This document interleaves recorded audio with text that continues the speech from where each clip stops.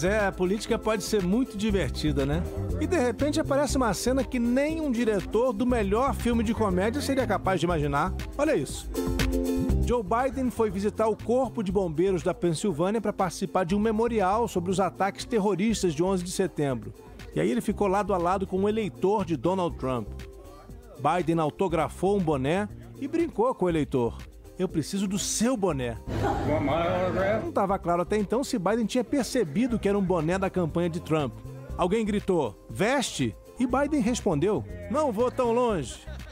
Mas ele foi. Vai entender, né? O presidente americano vestiu o boné da campanha de Donald Trump e arrancou aplausos eufóricos daquela plateia.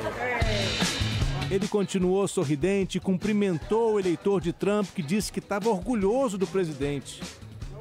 E ainda com o boné de Donald Trump na mão, Biden voltou a brincar. Lembrem-se, nada de comer gatos e cachorros. É, o velho Joe não perdeu nem a elegância nem a piada. Lembrou da frase que Trump disse na terça-feira durante o debate. A frase que viralizou quando ele afirmou que imigrantes estavam comendo os cachorros dos americanos. They're eating the dogs. Donald Trump não perde tempo. Pelas redes sociais escreveu: Obrigado pelo apoio, Joe.